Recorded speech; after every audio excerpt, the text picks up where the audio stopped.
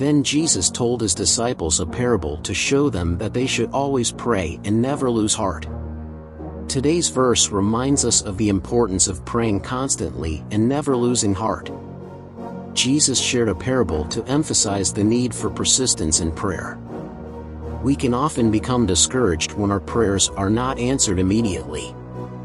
However, Jesus encourages us to keep praying, trusting that God is listening and acting in accordance with His perfect will and timing.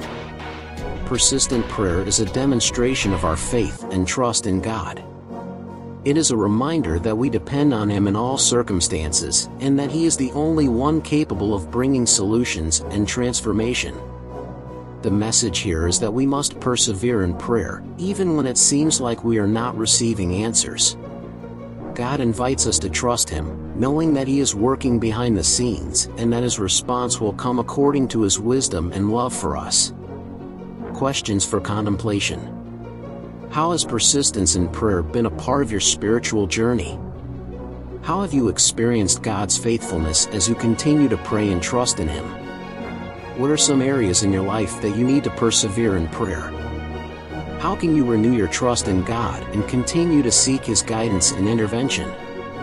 How can the practice of persistent prayer be a source of encouragement and inspiration for others? How can you share your experience of persevering in prayer to edify and strengthen those around you? Beloved Father, we thank you for the privilege of prayer and for the promise that we can pray always and never lose heart. Forgive us for times when we feel discouraged and forget to seek your guidance through prayer. Help us to persevere in prayer, trusting that you are listening and acting in accordance with your perfect will. Strengthen us in our faith and renew our trust in you. May our perseverance in prayer be a powerful witness to those around us, leading them to seek a deeper relationship deep with you. In the name of Jesus, Amen.